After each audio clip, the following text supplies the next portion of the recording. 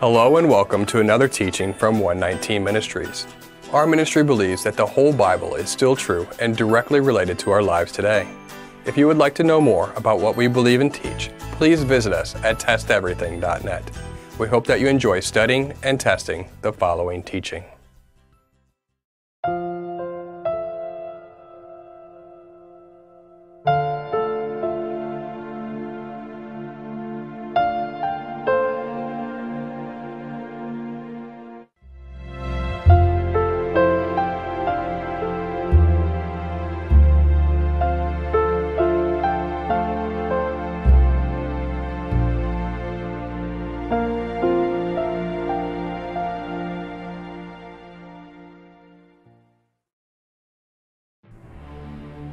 You ever wondered why the Jews simply do not understand that Jesus, or his Hebrew name being Yeshua, is the Messiah as prescribed by the prophets so long ago? It just seems so simple to us. We often like to think that if we just present them the New Testament, that they should get it. And if they then reject it, then it was their fault. But is it really their fault? What part do we play? If you are really serious in your mission to evangelize, then here comes the real challenge. Could you prove to someone Jewish that Yeshua is the Messiah? That is what Paul did day after day in the synagogues in the book of Acts. And so many thousands of Jews understood Yeshua to be the Messiah, and that he sacrificed himself for us, our sin. That is not happening as much today. Why?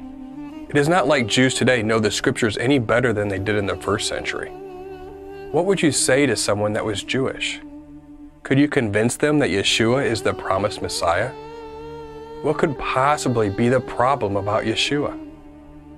In the first 14 years after the cross, there were only Jews learning about the first coming and identity of their Messiah. Thousands and thousands of Jews. Gentiles were not even really in the picture yet, only Jews. We can read about that in the book of Acts. No one denies it. Why are not thousands, if not tens of thousands of Jews coming to know their Jewish Messiah Yeshua like they did in the first century? Did something change? What happened? Why did that stop? Are many teaching something different than what our Messiah really taught? Are many teaching something different than what the apostles taught?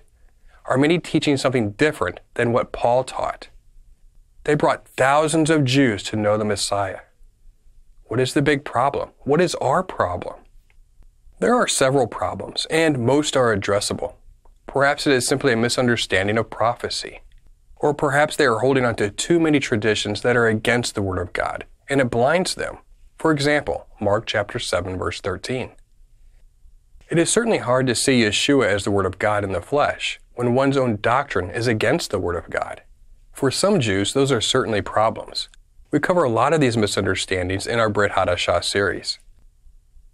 Though it takes much time and much patience, all those obstacles can be removed. For Paul, sometimes it worked and sometimes it didn't. We're not discounting that some of these Jews were broken off the tree, Romans 11, but many did get it, thanks to Yeshua, thanks to the apostles, thanks to Paul we are going to cover the number one reason why Jews have a difficult time accepting Yeshua, Jesus, as the Messiah. Let's enter into the context of the first century. We see Paul teaching the Word of God and Christ in the synagogues quite often. Acts chapter 9 verse 20. Immediately he preached Christ in the synagogues, that he is the Son of God. Acts 17 verse 17. Therefore he reasoned in the synagogue with the Jews and with the Gentile worshippers, and in the marketplace daily with those who happened to be there. Acts 18 verse 19. And he came to Ephesus, and left them there, but he himself entered the synagogue and reasoned with the Jews. Acts 19 verse 8. And he went into the synagogue and spoke boldly for three months, reasoning and persuading concerning the things of the kingdom of God. It requires much knowledge about prophecy and the gospel accounts of Yeshua to reason with the Jews. Sometimes Paul was successful with the Jews. On the other hand, as we already mentioned, quite often Jewish leadership was against Paul, just like they were against Yeshua. Paul, like Yeshua, threatened their established mainstream religious system of traditions and doctrines, which Yeshua equated to lawlessness. Paul taught against traditions and doctrines that were also against what Moses wrote, just like Yeshua did in Mark chapter 7, John chapter 7 verse 19, and Matthew chapter 23. Simply put, Yeshua taught that what Moses wrote is good, and that the traditions and doctrines of Jewish leadership that nullified Moses simply was a bad idea. Many Jews began to abandon this theological evolution that became these false religious traditions and ways, and instead, they began to only follow the Word of God and Yeshua. Because of this, Jewish leadership began to panic. It began to rattle their cage. Their power and influence was being threatened. Just to be clear, Yeshua and his followers did not teach against what Moses wrote. They taught against what the Jews called the oral law, or the commandments of men. Today it is called or referred to as the Talmud. The Talmud is the version of the oral law of the Jews that was written down. The Talmud added on to the law of God. It built fences around the Word of God. Through their own detailed commandments, they decided how God's people should keep God's commandments. They tightened up the parameters. They made things up. They built such walls around God's Word that it was hard to even see what was left of God's Word in their doctrine and action. God's Word became hidden, and thus, according to Yeshua, nullified or made void. They built a false religion around the truth of the Word of God. Because of the man made commandments, God's law became a yoke or a burden to such an extent that it was no longer God's law, but a system of laws built around the law of God. For instance, on the Sabbath, our Creator simply told us to rest, for our animals to rest, and for our servants to rest. The oral law, known today as the Talmud, would prescribe hundreds of ways to define what it meant to rest and not work. Man told you how to obey God. Man became who you were actually following, though you were supposedly following God. In this system, men become God. Those who claimed authority in this oral law began to see their system and their ways being threatened by Yeshua and all who followed him. Yeshua and his followers were bringing people into just following the Word of God, not the commandments of men. Because of this, the Pharisees and Sadducees decided to take action against those that threatened their false ways. They had to make it seem as though Yeshua was against what Moses wrote, because technically, disagreeing with the Talmud was not enforceable, as it was not technically the law of God. It simply made them angry when others would not follow their doctrine and traditions found in the Talmud. Here's where it becomes interesting. Because Jewish leadership could not prove that Yeshua and his followers taught against what Moses wrote, they had to set up false witnesses against them. Sadly, this is what happened to Stephen, a Jew who was not part of the many Jewish traditions and began to follow only Yeshua and the Word of God. Acts chapter 6 verse 13. They also set up false witnesses who said, This man does not cease to speak blasphemous words against this holy place and the law, meaning the law of Moses, the Torah. For we have heard him say that this Yeshua of Nazareth will destroy this place and change the customs which Moses delivered to us. It is very clear here that it is considered false testimony to say that Yeshua changed the ways of God as written by Moses. If it was true, then it would be a true testimony, not a false testimony. If you recall, they tried to do the same thing to Yeshua. In Luke chapter 6, verses 1 through 2, they accused him of breaking the Sabbath, when in reality, he was only breaking the Jewish tradition and doctrine, the Talmud. In the law of God, picking and eating the same grain does not break any of God's commandments. There is no such commandment in the Bible found anywhere. It does, however, break certain rabbinical commandments, which is what Yeshua's goal was. The Talmud says, in case a woman rolls wheat to remove the husks, it is considered as sifting. If she rubs the heads of wheat, it is regarded as threshing.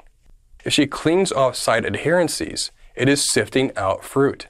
If she bruises the ears, it is grinding. If she throws them up in her hand, it is winnowing. If Yeshua broke any commandment of God, then he would have been committing sin. 1 John 3 4 and he would not have been our perfect sacrifice. Any doctrine that has Yeshua teaching or practicing anything contrary to what Moses wrote, or anything already established as truth in the Word, just turned his perfect sacrifice into an imperfect sacrifice, based on the Bible's own definition of perfect. The Talmud, or the oral law, even prescribes a particular way to wash one's hands before eating. At one point, Yeshua even taught against the Pharisees on this matter. Mark chapter 7 verse 5. Then the Pharisees and the scribes asked him, Why do your disciples not walk according to the tradition of the elders, but eat with unwashed hands?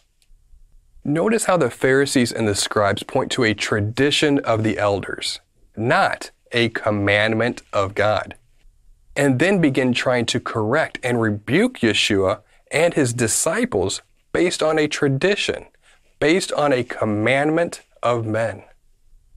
Obviously, it is not that washing hands is necessarily bad.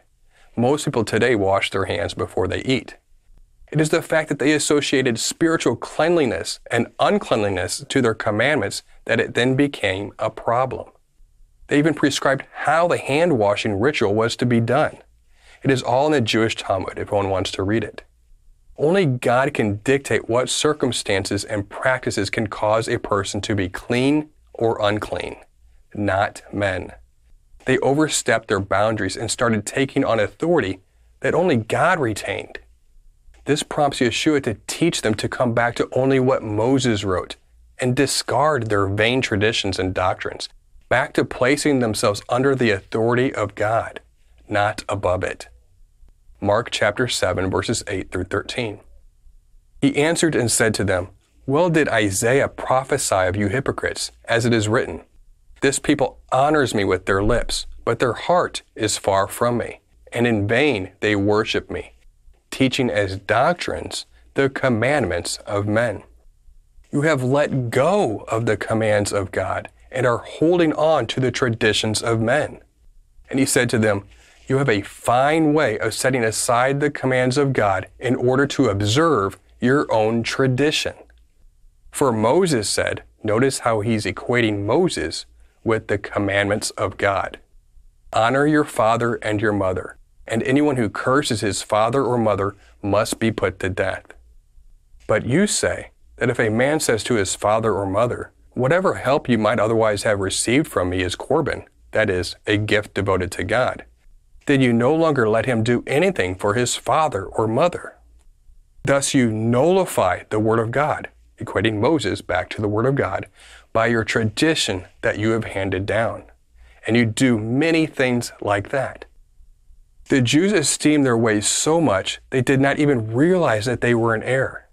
According to Yeshua and Matthew 23, they would even read the law of God from Moses' seat verbatim, but in their doctrines and practices, they would not practice what they just read. Instead, they made up their own commandments and practices, such as the washing of your hands before eating bread, or not rubbing two grains together on the Sabbath. They taught two different laws. They taught what Moses wrote from the seat of Moses, and they taught the Talmud, the oral law, which nullified what Moses wrote in many instances. They are called hypocrites. We are to do the first, not the latter, according to Yeshua. Here is an actual picture of the seat of Moses. This practice of reading the Torah word for word actually began with Moses, hence why it is called Moses' seat. Exodus 18, verses 13 through 16. The next day Moses sat to judge the people, and the people stood around Moses from morning till evening. When Moses' father in law saw all that he was doing for the people, he said, What is this that you are doing for the people? Why do you sit alone? And all the people stand around you from morning till evening. And Moses said to his father in law, Because the people come to me to inquire of God. And when they have a dispute, they come to me, and I decide between one person and another. And I make them know the statutes of God and his laws, the Torah. So Moses was reading the Torah from his seat. Just as Moses did, from this seat, the scribes and the Pharisees would only read exactly what Moses wrote, which, according to Moses, was the statutes of God and his Torah, the law of God. That being read in the seat of Moses, the Torah, is what Yeshua said that we should observe and do. Matthew 23, verses 1 through 3.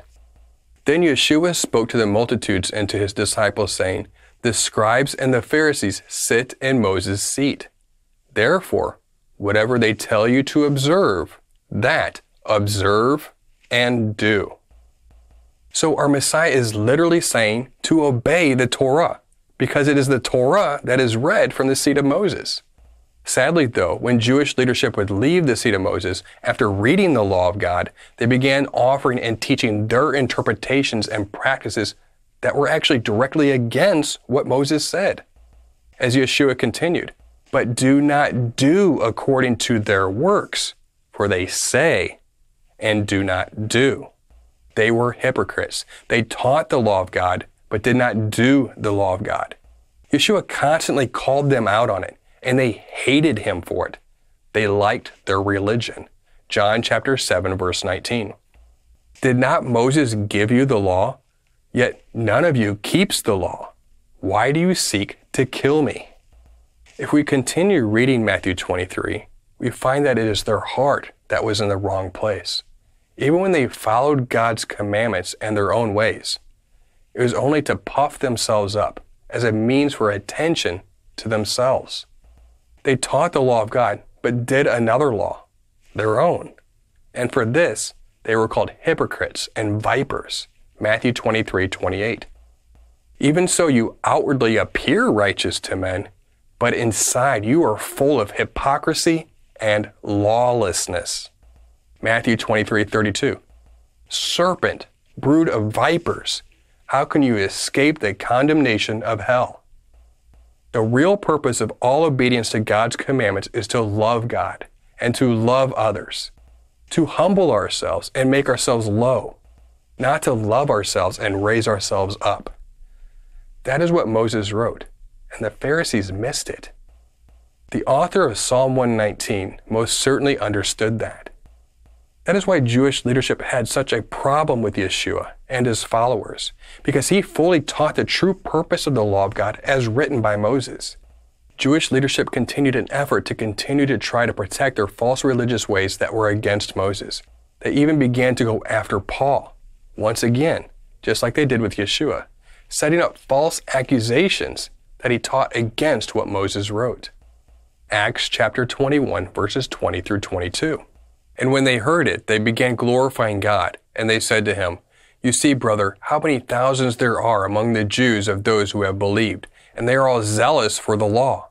And they have been told about you, that you are teaching all the Jews who are among the Gentiles to forsake Moses, telling them not to circumcise their children, nor to walk according to the customs. What then? The assembly must certainly meet, for they will hear that you have come. Therefore, do this that we tell you. We have four men who are under a vow. Take them and purify yourself along with them, and pay their expenses so that they may shave their heads. And all will know that there is nothing to the things which they have been told about you, but that you yourself also walk orderly, keeping the law, the Torah. Note here how true believers are zealous for the law of God, and that Paul is being accused of forsaking what Moses taught. James declares that the accusations against Paul are false, that Paul keeps and teaches the whole law of God as written by Moses. And get this, and this is very interesting. James defines orderly or walking orderly as keeping the law of God. If James says that Paul most certainly kept and taught what Moses wrote, and since Paul went forward with James' recommendation to prove that he did not teach against Moses, then we can only have three possible conclusions that we can make. Either James and Paul were either liars, lunatics, or legit. Again, James even defines that walking orderly means keeping the law of Moses. This would also mean that James teaches that if one is not walking and teaching according to what Moses wrote, that one is walking disorderly. Unless we want to begin accusing Paul and James of being liars or lunatics, then we must go with legit.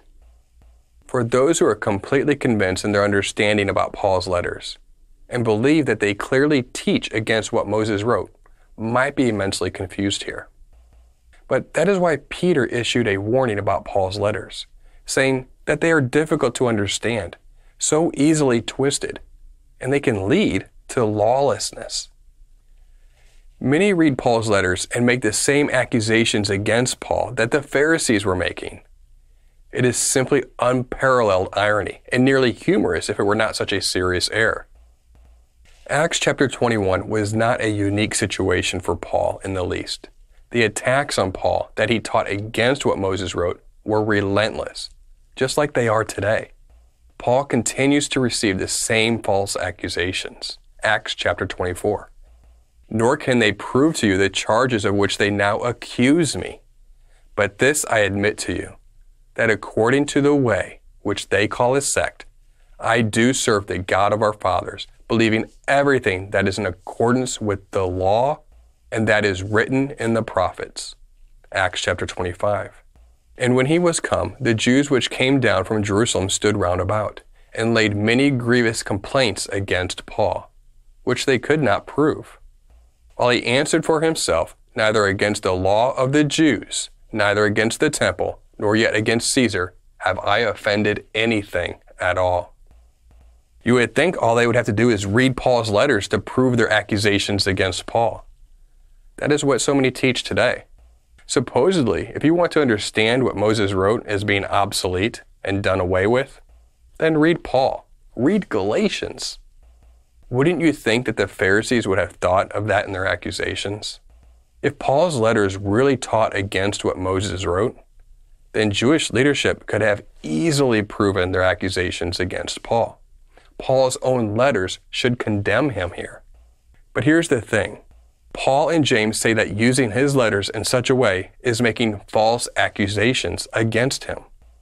The unfortunate reality, though, is that many just misunderstand Paul's letters and fail to examine them from a first century Hebraic context in which they were authored and delivered.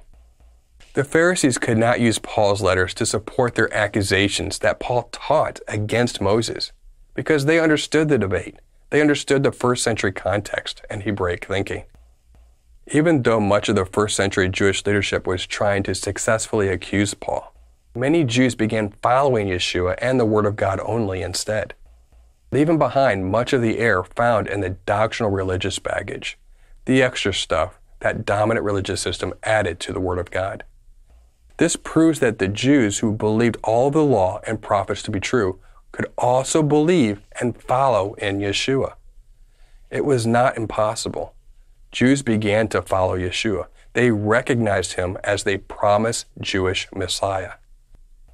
The problems of misunderstanding prophecy or the problematic religious baggage could be overcome in the first century, and for thousands of Jews, that was the case.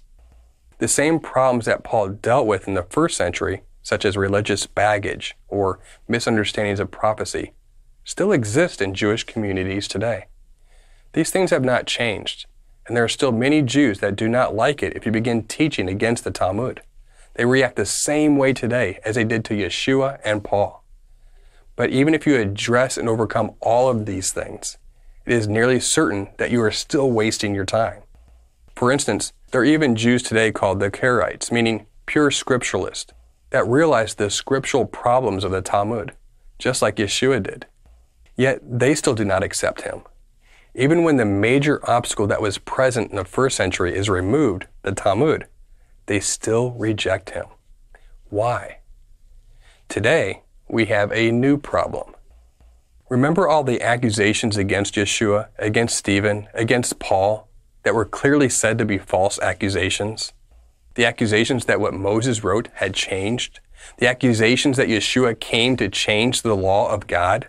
The false accusations that Paul taught against what Moses wrote?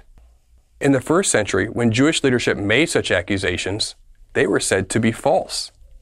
Sadly, today, mainstream Christianity makes the exact same accusations against Yeshua, against Paul, and now calls them true. They call them true accusations. You might be rather offended at that, or you might say, So what? What does it really matter?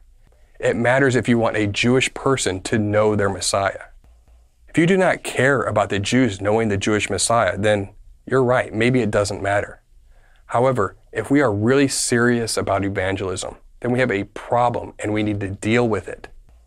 There remains one massive issue that will prevent a Jewish person from knowing their Jewish Messiah 100% of the time. As long as they know and believe the Old Testament to be 100% true, a Jew that does not believe the front of the Bible to be true does not have this problem. Or maybe a Jew that does not really understand the front of the Bible also does not have this problem. But as long as they believe and know the law, prophets, and writings, then you will have no hope in being successful in a typical presentation of Jesus to a Jew. Do you want to know why? This is no small issue. There are millions of people in the world who believe the front half of the Bible to be true, but still reject the Jewish Messiah Yeshua. Why? In the first century, and for a couple centuries thereafter, Jews were coming to know the Messiah in multitudes. But largely, for the most part, this is not happening today, nor has it for the last 1700 years, more or less. A Jew who knows their scripture well is the most likely of all to reject the typical presentation of Yeshua. They have no choice. Why? The answer is both shocking and rather offensive to our current mainstream doctrines. We do not like the answer, but we cannot deny the truth either. Millions of Jews will never know their Savior for this reason. The reason many Jews deny Jesus when he is being presented to them is because God told the Jews to not accept Jesus. Let us say that more clearly. God told anyone who believes the Old Testament to be true to not believe in the typical presentation of Jesus. Now, before you scream heretic and stop the teaching, Let's just test what was just said to the Word of God. Remember what we established earlier. In the first century, Yeshua, Stephen, and Paul taught and practiced what Moses wrote. Jewish leadership had issues with only following the Word of God and not the Talmud that they also liked to teach and enforce. Thus, Jewish leadership set up false accusations against Yeshua and against Stephen and against Paul that they all taught against Moses. Those, of course, were false accusations according to what was written in the Bible. They did indeed teach what Moses wrote. If Paul was actually against Moses, not one Jew would believe anything he said, ever. The Jews believed that the Old Testament is truth. They also believed that God meant what he said. God said to not believe anyone that changes the law of God. God said that is a false prophet. Jews believed God when he had Moses write it, and thus Jews cannot believe the typical presentation of Jesus or Paul. Because a typical presentation of Jesus and Paul teach that Jesus came to create a new religion called Christianity, and that there are new commandments established and the old is done away with. Deuteronomy 13 teaches that if any prophet arises and entices you to go after any other commandments other than the commandments that were already given by Moses, then it is the same as going after other gods, even if their signs, wonders, and visions came true. This is why the introductive verse just before Deuteronomy 13 says the following Deuteronomy 12, verse 32 Everything that I command you, you shall be careful to do. You shall not add to it or take from it. This is very important because some attempt to pretend that Deuteronomy 13 is only about teaching against following other gods we are told to not add to or take away from the Torah, the law of God, in Deuteronomy 12, verse 32, directly prefacing Deuteronomy 13. Deuteronomy 13 then teaches that if anyone does add to or take away from the law of God and entices others to do this, that they are a false prophet, which is the same as following false gods. Why? Because if you are adding or taking away from the law of God, then you are following instructions not from God, but from man, making man out to be your own God. If we present Yeshua or even Paul as working miracles and having true visions, signs, and wonders, yet also teach different commandments using their teachings, a true Jew would reject that without hesitation not because they are stubborn, ignorant, prideful, or anything of the like. Why? Because they believe the first half of the Bible to be true. Deuteronomy 13, verses 1 through 5. If there arises among you a prophet or a dreamer of dreams, and he gives you a sign or a wonder, and the sign or wonder comes to pass, of which he spoke to you, saying, Let us go after other gods, which you have not known, and let us serve them. You shall not listen to the words of that prophet or that dreamer of dreams. For Yahweh your God is testing you to know whether you love Yahweh your God with all your heart and with all your soul. You shall walk after Yahweh your God and fear him and keep his commandments and obey his voice. You shall serve him and hold fast to him. But that prophet or that dreamer of dreams shall be put to death, because he has spoken in order to turn you away from Yahweh your God, who brought you out of the land of Egypt and redeemed you from the house of bondage, to entice you from the way in which Yahweh your God commanded you to walk. So you shall put away the evil from your midst. So here in Deuteronomy 13, we have it said clearly. Anyone as a prophet, even if their signs or wonders come true, if they teach anything that causes his people to go away from or differ from the commandments that were given by Moses, that is to be considered evil in the midst. Adding to the Torah or taking away from the Torah is going after other gods. In the way that mainstream Christianity presents Jesus and Paul, really for all intents and purposes, the whole New Testament, Jews have no choice but to consider Jesus and Paul false. Not because Jesus and Paul were really false, but because modern doctrine teaches that the law of God has changed, and then use Jesus and Paul to do so. Millions of Jews will never know their Savior. They will never know the blessing of the new covenant, in which the same law is to be written on our heart, not a changed law, and they know this. They have read the prophets.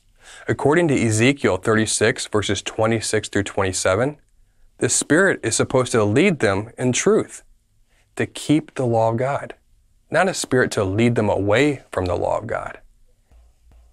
It is their belief in the Old Testament as truth, coupled with a misunderstanding of Paul, that prevents their belief that the New Testament is true. Even when Paul and James defended against such a misunderstanding, and Peter, he warned us in advance that such a misunderstanding of Paul's letters were very easy to make, leading to lawlessness. Deuteronomy 13 continues, commending the Jews who decide to not go after different commandments, those that do not abolish or make obsolete God's commandments, commending the Jews who do not remove one jot or tittle from the law of God. Instead, continue to fulfill the law of God, to fully preach the law of God, just as Yeshua did by living it out as the way, truth, life, light, and perfect freedom as the Word in the flesh did. As we are also called to walk in the very same image that we are to conform to. Deuteronomy 13. So none of the accursed things shall remain in your hand, that Yahweh may turn from the fierceness of his anger and show you mercy. Have compassion on you and multiply you just as he swore to your fathers, because you have listened to the voice of Yahweh your God, to keep all his commandments, which I command you today, to do what is right in the eyes of Yahweh your God. It is because many continue making the same false accusations against Yeshua and Paul that Jews reject Yeshua and Paul. The Jews have to. God told them in the Word of God. They believe the Word of God to be true. You would also think that most Christians would reject the false accusations against Yeshua and Paul as well, since it is taught by the same that the Old Testament is also true. Deuteronomy 12:31 is also a problem. God clearly said that we are not to worship him in the same way that false gods were worshiped. He hates their ways and traditions and false god holidays.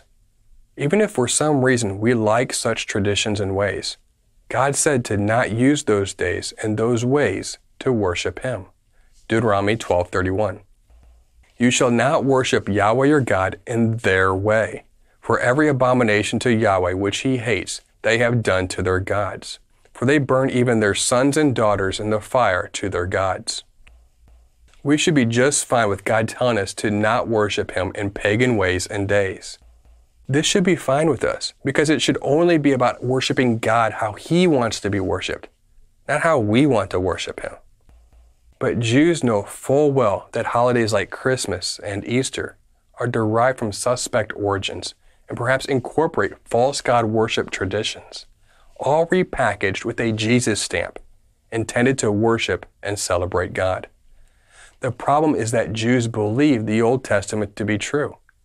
Any successful evangelism of a true Jew would stop here. This would quickly be strike two for the average Christian missionary.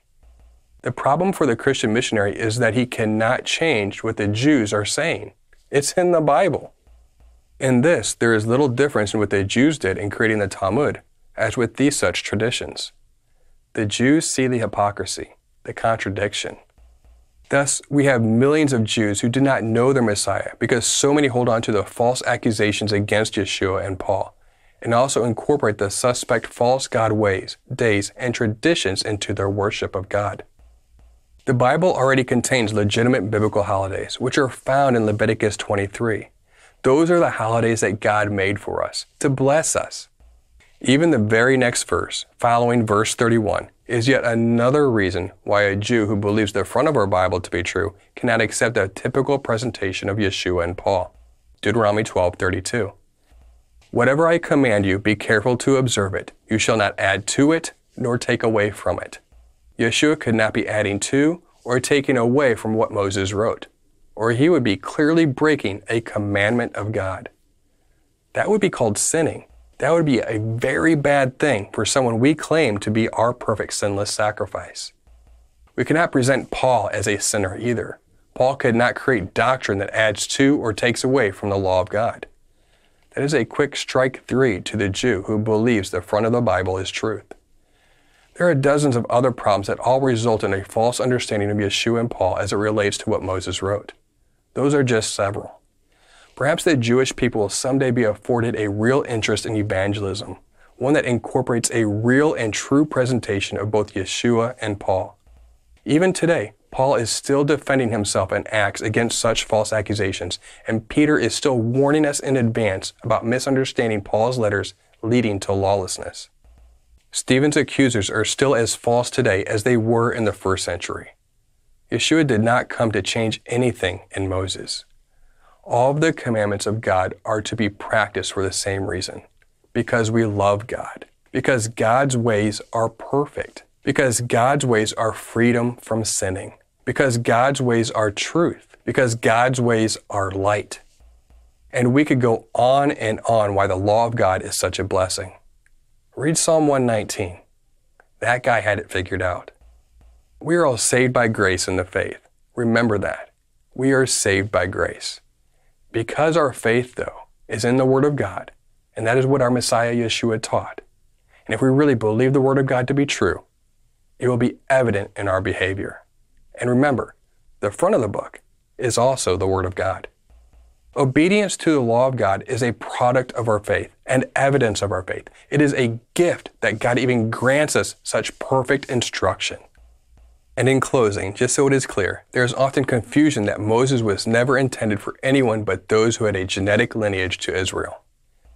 Moses wrote that there is one law of God for all, the natural born Israelite, and also for the alien, foreigner, or Gentile that is grafted into Israel by faith. Numbers 15, verses 15 through 16. One ordinance shall be for you of the assembly and for the foreigner who dwells with you an ordinance forever throughout your generations. As you are, so shall this stranger be before Yahweh. One law and one custom shall be for you and for the stranger who dwells with you. There is no such thing as a law of God for the Jews and a law of God for the Gentiles. He granted his perfect instruction to everyone, so no one misses out. This teaching likely generated some more questions. Now that we know that Messiah Yeshua taught all believers to observe the Torah, you may wonder how it all fits together with often misunderstood passages such as Acts 10. Well, we have a teaching for that called Acts 10, Peter's vision. Or Acts 15. We also have a teaching for that called Acts 15, legalism or obedience. Or any number of verses by Paul. We actually have a whole series dedicated to Paul called the Pauline Paradox series. We hope that this teaching has blessed you. And remember, continue to test everything. Shalom.